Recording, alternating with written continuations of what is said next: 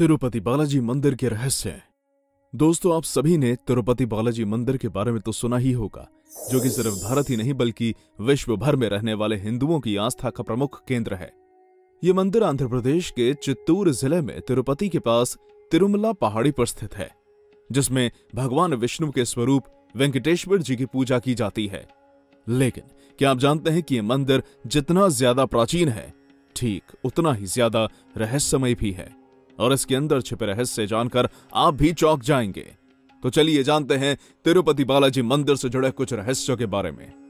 Number दस, प्रतिमा से आती है रहस्यमय आवाज़। दोस्तों, तिरुपति बालाजी मंदिर लोगों की आस्था का प्रमुख केंद्र तो है ही, लेकिन साथ ही इस मंदिर में होने वाली रहस्यमय घटनाएँ भी लोगों को इसकी तरफ़ आकर्षित कर देती हैं। इन्हीं रहस्यों में से एक रहस्य है बालाजी की मूर्ति से आने वाली आवाज़ का रहस्य। जी हाँ बिल्कुल सही सुना आपने। क्योंकि कई स्थानीय लोग कहते हैं कि जब भगवान की प्रतिमा के करीब जाकर कान लगाकर सुना जाता है, तब उसमें से समुद्र की लहरों की तरह आवाज़ आती है।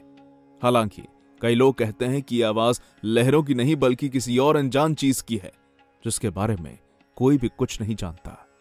नंबर नौ, बाहर से देखने पर बीच में दिखती है प्रतिमा। दोस्तों, तिरुपति बालाजी मंदिर से जुड़ा यह रहस्य अपने आप में ही निराला है। क्योंकि इसे आप अपनी आँखों से देखने के बाद भी इसका कारण पता नहीं कर पाएँगे। दरअसल जब भी कोई व्यक्ति इस मंदिर में प्रवेश करने जा रहा होता है, तब इसके प्रवेश द्वार से भगवान बालाजी गर्भगृह के मध्य भाग में खड़े दिखाई देते हैं। वैसे जब तक आप मंदिर के अंदर दाखिल नहीं होते, ऐसा सिर्फ़ तब तक ही है, क्योंकि एक बार मंदिर के अंदर प्रवेश करने के बाद आपका यह समीकरण पूरी तरह से बदल जाता है, क्योंकि जैसे ही आप मंदिर के गर्भगृह में प्रवेश करेंगे तब आपको अपनी आँखों पर यकीन नहीं होगा, क्योंकि असलियत में भगवान बालाजी की प्रतिमा मध्य भाग में नहीं, बल्कि दाहिनी और कोने में मौजूद है, जो इस मंदिर को रहस्यमय बनाने के लिए काफ़ी है। नंबर आठ, हज़ारों सालों से जल रहे चिराग और विशेष कपूर का रहस्य। अगर आप उन लोगों में से हैं जिन्हें लगता है कि तिरुपति बालाजी मंदिर के अंदर सिर्फ़ भगवान की प्रतिमा मात्र ही रहस्यमयी है तो निश्चित ही आप गलत हैं, क्योंकि बालाजी मंदिर में मौजूद बहुत सी चीज़ें रहस्यमयी हैं। और ऐसे ही एक रहस्यमय वस्तु है इस मंदिर के गर्भगृह में रखा चिराग। जिसके बारे में ऐसी मान्यता है कि वो हज़ारों सालों से जल रहा है। कई वर्षों से इस मंदिर की देखरेख करने वालों के अनुसार यह चिराग कभी भी नहीं बुझता और इसे कब जलाया गया था यह भी कोई नहीं जानता। जिस कारण लोग इसे रहस्यमय मानते हैं। इस चिराग के अलावा इस मंदिर में विराजमान भगवान बालाजी की प्रतिमा के श्रृंगार में इस्तेमाल होने वाले कपूर भी बेहद रहस्यमयी है।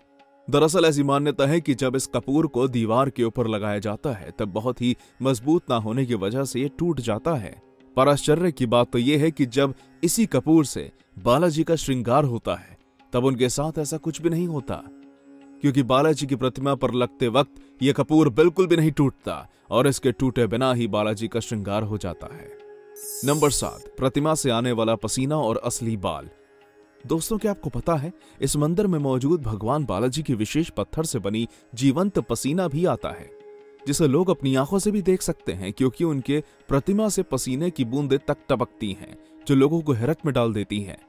शायद ही आपको जानकारी हो कि इस मंदिर में मौजूद महंत जितनी बार भी बालाजी की पीठ को साफ़ करते हैं, तब ऐसा करते वक्त हर बार उनकी पीठ पर पसीना होता है, जिस कारण मौजूदा समय में मंदिर के अंदर का तापमान हमेशा कम रखा जाता है। जिससे कि बालाजी की प्रतिमा को ज़्यादा पसीना ना आए। हालाँकि ये बालाजी की प्रतिमा पर होने वाला एकमात्र चमत्कार नहीं है, क्योंकि जब बात इस प्रतिमा के बालों की आती है, तब वो लोगों के बीच चर्चा का विषय बने रहते हैं, क्योंकि ऐसा माना जाता है कि ये बाल असली हैं, जो असलियत में इतने ज़्यादा सॉफ्ट हैं कि वो कभी भी उलझते नहीं हैं और हर वक्त सॉफ्ट ही बने रहते हैं। हालाँकि आज तक कोई नहीं जानता कि ये बाल कैसे असली हैं, जो इन्हें और भी ज़्यादा रहस्यमय बनाता है। नंबर छह। स्त्री और पुरुष दोनों के वस्त्र पहनते हैं बालाजी। इतना तो आपको मालूम ही होगा कि इस मंदिर में मौजूद प्रतिमा में भगवान वेंकटेश जीवंत रूप में समाहित हैं। लेकिन अगर आपको लगता है कि वो प्रतिमा में अकेले ही समाहित हैं तो ऐसा नहीं है, क्योंकि भगवान बालाजी के साथ माता लक्ष्मी भी इस प्रतिमा में समाहित हैं, जिस कारण उनकी प्रतिमा को स्त्री और पुरुष दोनों के वस्त्र पहनाने की परंपरा है।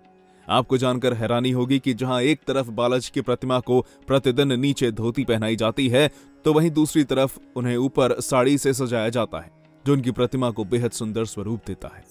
नंबर पाँच, छड़ी जिससे पिटे थे बालाजी। भारत में बहुत से लोगों को लगता है कि भगवान तिरुपति बालाजी का मंदिर सिर्फ़ वेंकटेश्वर भगवान की प्रतिमा की वजह से रहस्यमयी है। लेकिन ऐसा बिल्कुल भी नहीं है, क्योंकि इस मंदिर में ऐसी बहुत सी चीज़ें हैं जो इसे लोगों के बीच रहस्यमय बनाती हैं। ऐसी ही एक चीज़ है मंदिर के दाहिनी ओर रखी एक छड़ी, जिसके बारे में कहा जाता है कि इस छड़ी से ही बचपन में बालाजी भगवान की पिटाई की जाती थी। एक बार पिटाई के दौरान इस छड़ी से बालाजी की ठुड्डी पर चोट लग गई थी, जिसके कारण आज भी उनकी ठुड्डी पर चंदन का लेप लगाया जाता है, जिससे उन्हें दर्द ना हो। इतना ही नहीं, ठुड्डी की चोट के अलावा भी बालाजी के सर पर अनंताठ वारजी के प्रहार के भी निशान हैं। दोस्तों, इससे पहले कि हम सभी आगे बढ़ें, अगर आपने अभी तक हमारे चैनल को सब्सक्राइब नहीं किया है तो जल्दी से इसे सब्सक्राइब करें, जिससे कि हमारी वीडियो सबसे पहले आप तक पहुँच सके। नंबर चार, हृदय में दिखती है लक्ष्मी जी की आकृति। जब हर गुरुवार को बालाजी का श्रृंगार होना होता है, जिस वजह से भगवान की प्रतिमा से चंदन का लेप हटाकर उन्हें नहलाया जाता है, और बाद में दोबारा उस पर चंदन का लेप चढ़ाया जाता है, पर इस सब के बीच सबसे हैरान कर देने वाली चीज़ होती है भगवान की प्रतिमा पर, माता लक्ष्मी का दिखना। जिनकी आकृति हर गुरुवार चंदन का लेप उतारते वक्त भगवान के हृदय पर उभरी होती है, जिसे देख हर कोई हैरान रह जाता है, जो साबित करता है कि भगवान की प्रतिमा में माता लक्ष्मी जीवंत रूप में मौजूद है। नंबर तीन, स्वयं प्रकट हुए थे भगवान वेंकटेश्वर।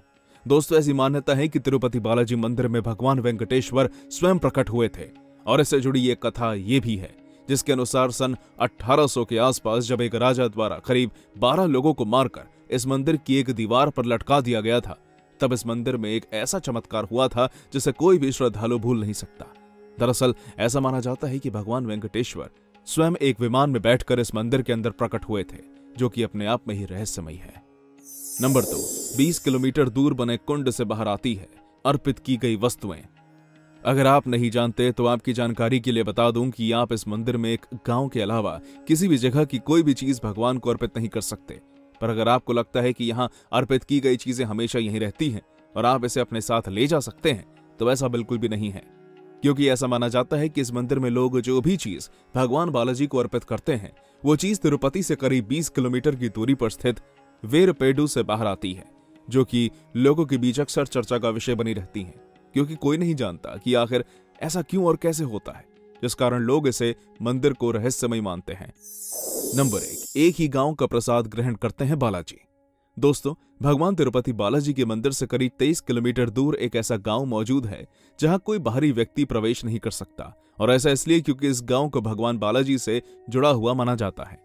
आपको जानकर हैरानी होगी कि इस गाँव से ही भगवान बालाजी के लिए फूल, दूध, दही, घी, मक्खन आदि प्रसाद का सामान जाता है, वरना इस गाँव के अलावा किसी और जगह से आया प्रसाद भगवान को नहीं लगाया जा सकता। पर ऐसा क्यों है? इस बारे में कोई भी कुछ नहीं जानता। तो दोस्तों, ये थी हमारी एक और इंटरेस्टिंग वीडियो अगर आपको ये वीडियो पसंद आई हो तो इसे लाइक करें और हाँ जाते जाते इसे अपने दोस्तों के साथ शेयर ज़रूर कर देना। धन्यवाद।